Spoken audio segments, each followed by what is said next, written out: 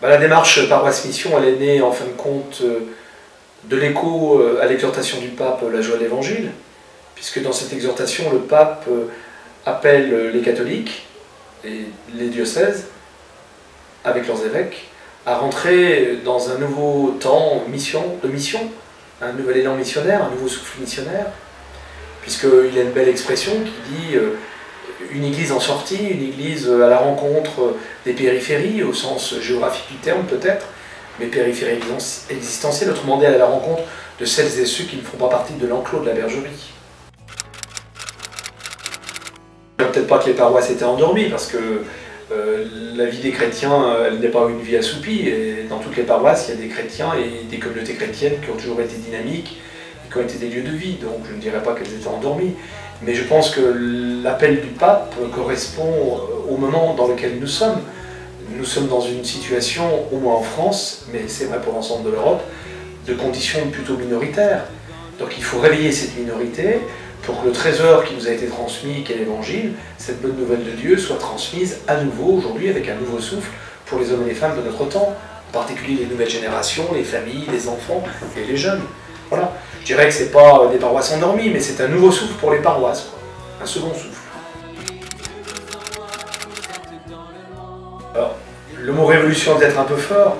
j'aimerais mieux le terme biblique de conversion. D'ailleurs, le pape, dans son exhortation, euh, parle de conversion, il parle de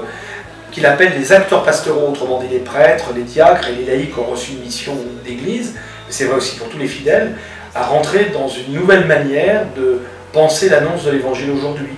Voilà, donc c'est vraiment un changement, une conversion, un renouveau qui est demandé à l'ensemble des catholiques.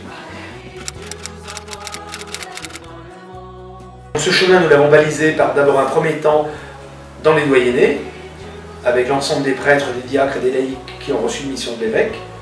Nous avons une grande journée diocésaine qui a permis d'enrichir le travail qui a été déjà élaboré, préparé dans les doyennés,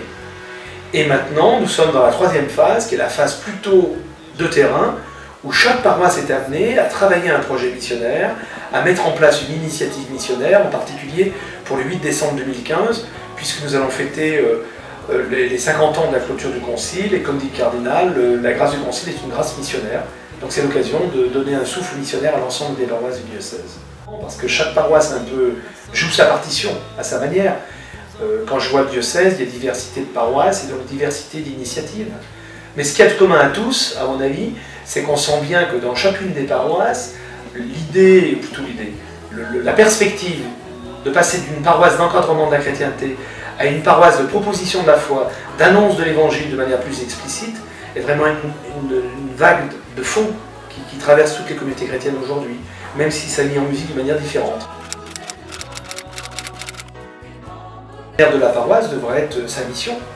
Donc l'idée, c'est de faire en sorte que, suite à cette démarche paroisse-mission, eh bien, la dynamique euh, ait été lancée d'une manière un peu forte, et après chacun euh, sera amené dans l'ordinaire, dans la vie au long cours, eh bien, à développer cette dynamique qui a été un peu euh, plutôt mise en valeur pendant 15 mois au niveau du diocèse.